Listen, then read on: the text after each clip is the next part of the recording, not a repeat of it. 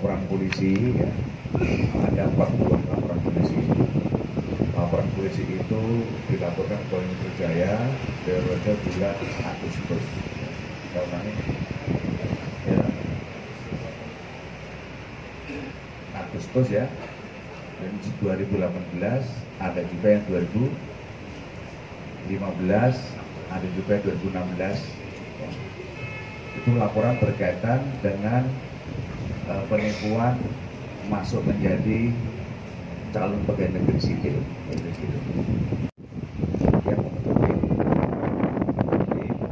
Setelah memeriksa para pelapor ini, kemudian melakukan penyelidikan dan penyidikan mencari siapa pelakunya. Ya. Di rangkaian peristiwa ini sudah pidana bisa bisa terpenuhi ada tersangkanya. Jadi yang uh, tim ini bisa menangkap tersangka ya, inisial HM, ya, HM Bima namanya, alias Bima. Jadi tersangka ini bawa, ya, dibawa ke Polda Metro Jaya. Jadi dari penyidik sudah melakukan pemeriksaan terhadap korban, kemudian melakukan pemeriksaan terhadap tersangka. Dengan penangkapan langsung tersangka. Jadi setelah dilakukan pemeriksaan terhadap tersangka HM, akhirnya kita bisa mendapatkan keterangan dari Badan Kepegawaian Daerah. Gitu ya. Jadi yang bersangkutan itu melihat ya, ada melihat di daftar di BK, BKN ya, BKD ya, kira-kira pejabat eh, pegawai honorer ini yang sudah terdata, yang sudah masuk ya, sudah masuk ke dalam uh, file, gitu, file sama yang bersangkutan tersangka ini kemudian dilihat, ya, dilihat file-file ini ada, sudah dibayar.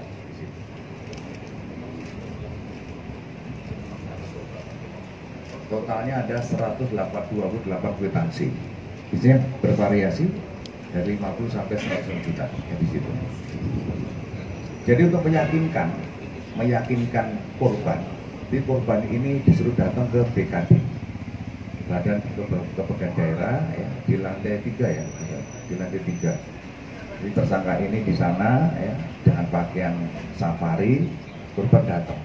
Sudah menyampaikan ini loh namamu sudah ada di SK. Nah, itu.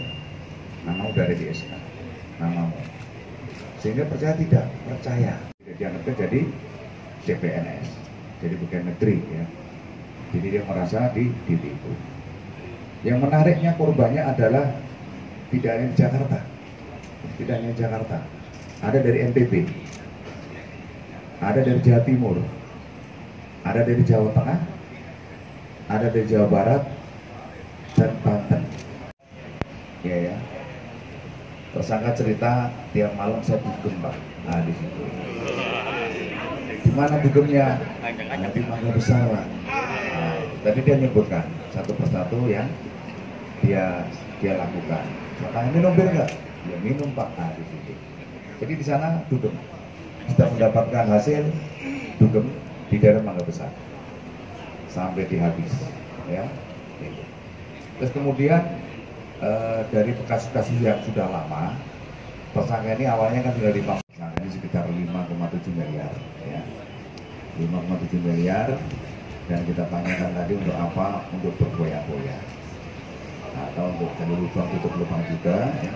tapi ini masih di dalam milik penyidik ya. apakah benar sebanyak itu hanya untuk boya-boya habis ya di situ kita dalami di penyidik uang itu ke mana saja alirannya ya jadi tidak saja di depan kalau nanti dia dibelikan suatu benda yang tidak bergerak atau bergerak nanti akan koordinasikan melalui Panselnas Panitia Seleksi Nasional setelah lulus seleksi administrasi dilakukan dua kali tes yaitu tes seleksi dasar dan tes seleksi bidang dan kedua-duanya melakukan dengan cara CAT atau Computer Assist Test. Tidak ada mekanisme dengan LJK seperti zaman dulu. Zaman dulu ada tesnya itu dengan lembar jawaban komputer. Saat ini sudah tidak lagi dengan menggunakan lembar jawaban komputer tapi menggunakan CAT atau Computer Assist Test yang hasilnya bisa langsung diketahui pada saat peserta tes selesai melaksanakan tesnya. Begitu peserta usai melaksanakan tesnya, hasilnya langsung kelihatan di pengumuman apakah si peserta itu e, melampaui ambang batas atau passing grade atau tidak.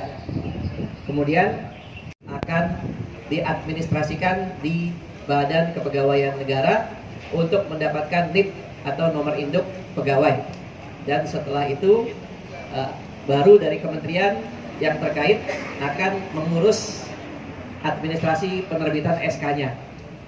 Kesimpulannya bahwa segala sesuatu prosedur yang terkait dengan penerimaan CPNS maupun PPPK pegawai pemerintah dengan perjanjian kerja dilakukan tanpa mekanisme pertemuan tatap muka. Semuanya